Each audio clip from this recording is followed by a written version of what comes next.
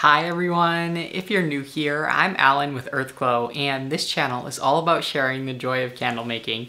Today's video is a really special edition of Fragrance Favorites because I am going to be talking about my favorite spa scents of all time. And by spa collection, I mean fragrances that are going to be relaxing. Maybe they're relaxing because they are aromatherapy type fragrances like peppermint, like lavenders.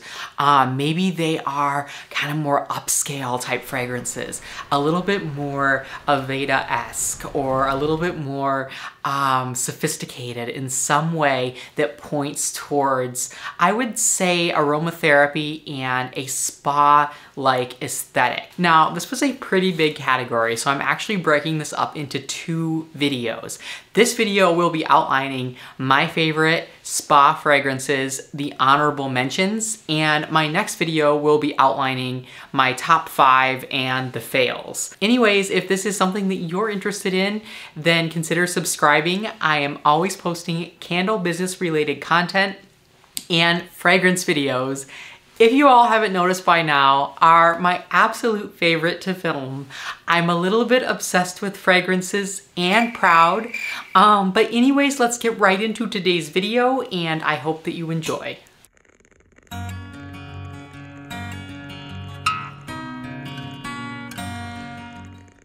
As I always have to mention at the beginning of these videos, these fragrances are my personal favorites and they are fragrances that are ones that have done well for me as well. And so there's always the chance that you might not like something that is on my favorites list um, and something that I have on my fails list, you may actually enjoy.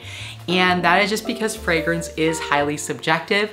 But with all that said, this fragrance favorite series is intended to just kind of help narrow things down a little bit. There are so many fragrances that are available to us and these are fragrances that I have tested extensively um, and or sell in my own candle line. This video is going to be outlining the honorable mentions for my all-time favorite spa fragrances. And with a lot of these honorable mentions, they are are um, I would say close to half of them are only listed as honorable mentions just because I've had more limited experience working with the fragrances. Maybe I've only made several candles with them. Maybe I've only sold them in my line for six to eight months. In order to rank in my top five, generally a fragrance has to have been in my candle line for what I would consider a long enough time to be able to really see how it sells, how it does for me. And of course, all that is gonna be somewhat subjective based on your audience, based on your clientele, based on the way you're marketing it. But I just like to share what has worked well for me personally. And with a lot of these fragrances, the only reason that they're honorable mentions is just because I haven't had them in my candle line for more than, I would say, six to eight months with a lot of them. Um, and some of them I've offered more as limited editions, so I don't really have a good idea as to how it would perform in your line as a permanent spa collection set. But also with these honorable mentions, I did go ahead and rank them because I just thought that that would be a little bit more fun. Usually I haven't been ranking the honorable mentions, but with this video, I was like, I'm just gonna go ahead and rank these for you all. And let me know if you prefer that with these honorable mentions or if you just like them to be kind of random and not ranked um, because I could theoretically start ranking all of them if you enjoy that. Um, but anyways, we have a total of one, two, three, four, five, six, seven, eight. We have a total of nine positions and in our number nine position, um, we have Cucumber, Water, and Melon by Candle Science. Now, this is a scent that I actually had in my Summer Lovin' collection, I wanna say two years ago. And this fragrance did do generally well for me, um, but it it just is a little bit more perfumey than I might have liked. You definitely get the cucumber water and you definitely get melon with this fragrance.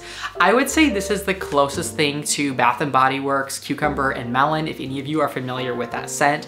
I grew up with that fragrance and it's really nostalgic for me so I was looking for something similar to have in my candle line and I will say that this fragrance is similar to that but it is just a little bit more perfumey and I did sell this one as floating lotus and I thought that that was kind of fitting. Like if you're just picturing like cucumber water, like being in the spa, cucumber and melon, like floating lotus, like lotuses in a pool and I have no idea where I'm going with this analogy, but that's the way that I sold this candle and I kind of liked the name that I had for it and it did do generally well. It was not one of my top sellers by any means, but it definitely, um, to use Jeff Stanley's analogy, would sell a solid 6 out of 10 if you were to take this one to a farmer's market. In my number 8 position, we have White Tea by Candle Science. And this fragrance, okay, so I sold this one, I wanna say two and a half years ago in my, um, I actually sold this one in like January. And I think I did this as a limited edition. I really didn't know at that time what collection to put this in. And it was so strong that it kind of turned me off. Like it was definitely a white tea aesthetic, but to me that this one almost leaned a little bit more, I don't wanna say artificial, but a little bit less aromatherapy and a little bit more, um, like you do get some florals with this one. Um, I don't really know how to describe it, um, but this one just, to me was a little bit too, in your face um, when I use 10% in 464, but that's kind of a good problem to have, right? Because you can always turn down the fragrance. You can always use less fragrance oil. Um, and this one is an exceptional thrower in 464. And you can also use this one in soaps. If you make cold processed soaps, I think this would be a beautiful spa scent. Um, but yeah, my clients who did get this, who did purchase this candle, generally uh, had positive feedback. So it was more me that just was like, oh, you know, this isn't quite what I'm going for. Definitely a spa-like aesthetic, but not quite the white tea that I'm looking for. So I wanna play around more with this particular oil and see if I can get it to work how I would like.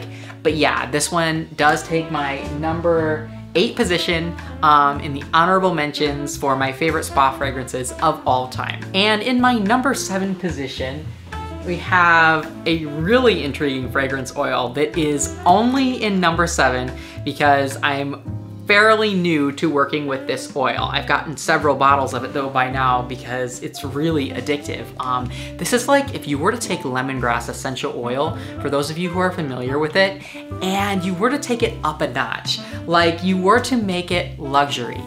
Um, and you were to blend it with mandarin and jasmine petals and green tea leaves and lavender. It smells like the most beautiful green tea infused with lemon that I have ever smelled.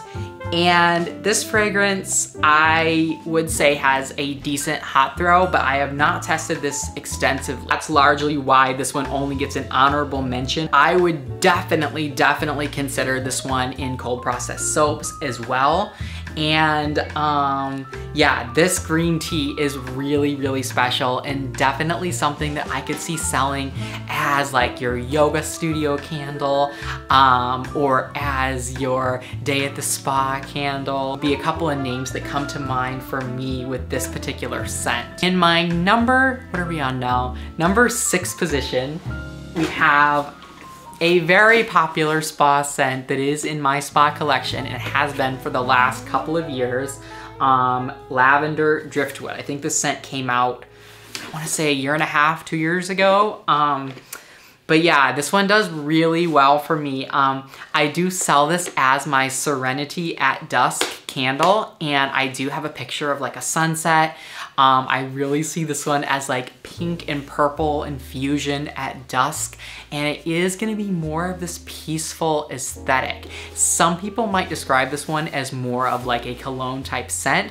I definitely would say that it's not as much of a cologne as like your mahogany and teakwood or your saffron cedar from Candle Science or your um, uh, Palo Santo type scents. Some of those can lean really, really, really like um, kind of like that masculine perfume cologne type of a scent. This one leans that way, but not nearly as offensively. You definitely get the lavender, but there is a lot of driftwood to this one. I think you could tone down some of the more cologne-like aesthetics if you were to mix this one with lavender. Um, you can mix it with uh, 1617's Mayfield. You can mix it with Flaming Candles. Um, they have a beautiful lavender. I can't remember what it's called. I think it's Lavender Vanilla, but I'll put the correct name up on the screen if that wasn't it yeah, so you could definitely mix it with those scents or you could mix it with Candle Science's Lavender or Candle Science's French Lilac, I think would go really beautifully if you are looking to bring out more of those lavender notes and tone down the driftwood, that kind of, uh, if you're familiar with like Midsummer's Night by Yankee Candle, I would say that this one is kind of similar to that, but not nearly as much like Midsummer's Night as the Flaming Candles version of that scent. They have a Midsummer's Night dupe and that fragrance fragrance is not one of my favorites at all. I would consider that offensively like a cologne slash perfume in a way that is kind of off-putting to me. So in my number five position, we have Cassis by Stone Candles. And this is a fragrance that I've been working with only for like the last six to eight, I think for the last six months. I've had this in my line. But I blend this fragrance 50-50 with Lotus by Stone Candles, so it's a one-to-one. -one. And this is my Antalya candle in my Wanderlust collection. Um, this candle is such a beautiful scent. Like I feel like those two fragrances go so well together. But this one is definitely a standalone 100%. This is the most beautiful cassis I have ever smelled. I was actually introduced to this fragrance by Michael Aponte from um, Candle Romance. And he said that it was the most beautiful cassis he had ever smelled. And I have to agree. Cassis is definitely a fragrance that not a lot of people are familiar with. Um, I believe it is a type of, um, gosh, is it a type of flower or is it a type of, I think it's a type of uh, liqueur actually. I don't think it's a type of flower, but it does have a lot of floral aesthetics to it. I think it's similar to like a currant type of a scent, but it's really a unique fragrance in its own right. So I don't think it would be really fair to compare it to a black currant. I actually blend this fragrance with Figuier by Stone Candles, and I think I featured that fragrance in my top earthy scents um, fragrance favorites video. But yeah, this is my Antalya candle for Antalya Turkey in my Wanderlust collection and I absolutely love how those two fragrances go together. Um, I was having some issues with the Figuier with getting it to um, burn cleanly. That scent has been kind of problematic for me. But yeah, with the Cassis, it is an absolutely beautiful like I feel like it enhances the aesthetic of that Mediterranean Sea type of a vibe that I was going for with my Antalya candle. And yeah, this one screams luxury 110%. Um, and you definitely do get some lime in this one as well as the top note. And I do definitely pick up a little bit of patchouli and maybe a hint of leather in the base on this one, but it's a very soft leather. It's nothing masculine or offensive in any way. Um, it's just a really different fragrance than anything I've ever smelled before. And yeah, so this one ranks number five in uh, my honorable mentions and largely just because I've only worked with this one for about six months but my Antalya candles did sell out right away and I actually had one client who I believe was from Turkey who said or no, she wasn't from Turkey, but she had family in Turkey. And she said that this candle, um, she feels like represents her country absolutely perfectly. Um, so that really made me smile. But anyways, this is Cassis by Stone Candles. In my number four position, we have another fragrance that has been in my spa collection for a really long time, and it's a very popular scent for me. Um, this is Santal and Coconut by Candle Science. And I personally do not really like this fragrance. Um, this is my Namaste candle in my spa collection and I do keep this one in my spa collection because it's really um, popular with, I would say a pretty good handful of clients will keep repurchasing this one. Why I don't like it, I think that the coconut is a little bit too sweet and overpowering and I would like more of that woody, sophisticated Santal. Um, if you're looking for a true Santal, I would recommend the one by Stone Candles, the Santal they make. It's a Le Labo um, I believe, dupe uh, for Santal 33. And it's a spot on dupe and it's so fabulous. But I do have trouble with that one uh, to get it to stay lit with my wooden wicks. So that one is kind of problematic for me. But yeah, this one I've had in my spa collection for a very long time and it is my Namaste candle and yeah, so I have to rank this one pretty high because it is a scent that um, I think that you should be aware of because a lot of people um, would typically like something with coconut or with santal when they're thinking about a spa type of a collection. Those more sophisticated tropical notes are very, very popular. And I think that this is a great kind of standard spa type scent. And in my number three position, we have Oh my God, this fragrance is so lovely. This is the most beautiful lavender I have ever smelled, and this is Mayfield by 1617. So I've smelled a lot of lavender fragrances. I think I've smelled the lavender vanilla from the Flaming Candle, the lavender that uh, Candle Science makes. I've done the one from Candles and Supplies, and I've also done the black amber and lavender. I basically, I think I have more than seven different lavenders in my fragrance collection at this time. And of those, this one unquestionably ranks number one. And I think lavender is just a really classic note. When people think of a spa collection, they're wanting uh, more than likely for you to have some sort of a nice lavender in that collection.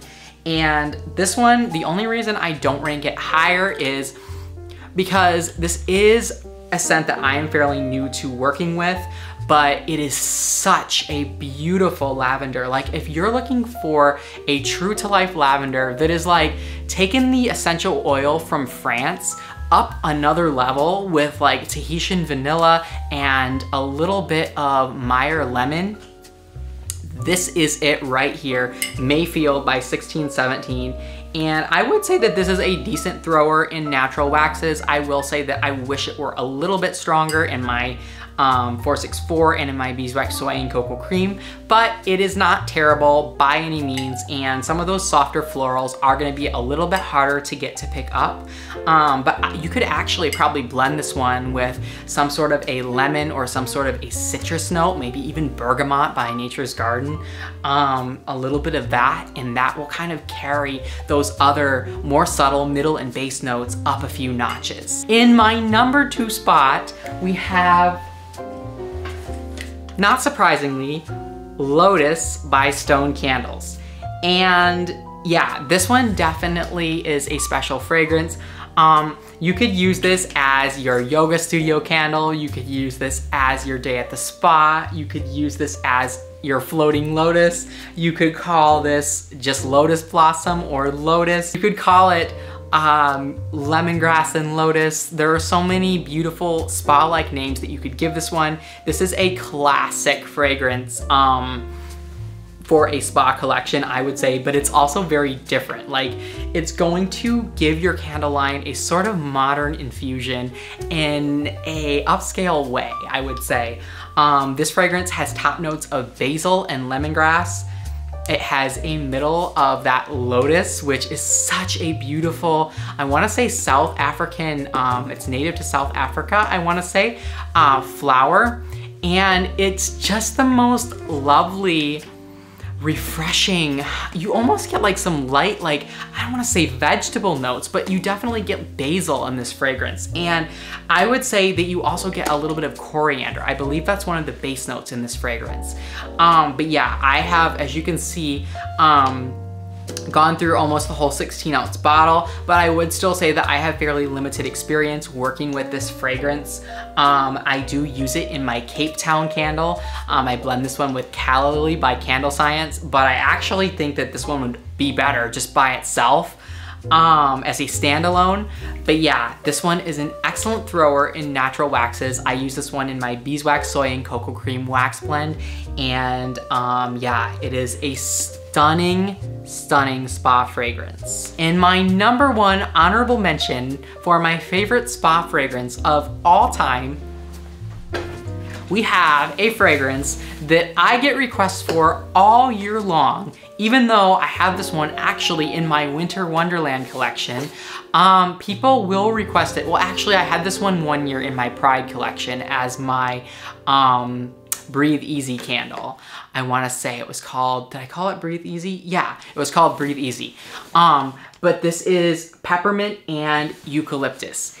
And yeah, people ask for this scent all year round. This is a classic peppermint and eucalyptus. You definitely get, I would say, a 50-50 of each. Maybe there's a little bit more peppermint to this one than eucalyptus, but it's a very good blend of the two uh, fragrances. And you can also use this one in cold processed soap up to 6%. I believe that this fragrance would work very, very well in an aromatherapy line with cold processed soaps or with candles.